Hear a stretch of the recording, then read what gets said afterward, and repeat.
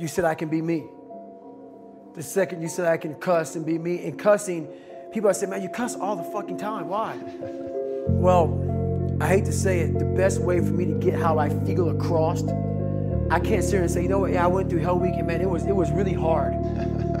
no, that motherfucker takes your damn soul, rips it inside out, and then they say, now we're going to fucking start.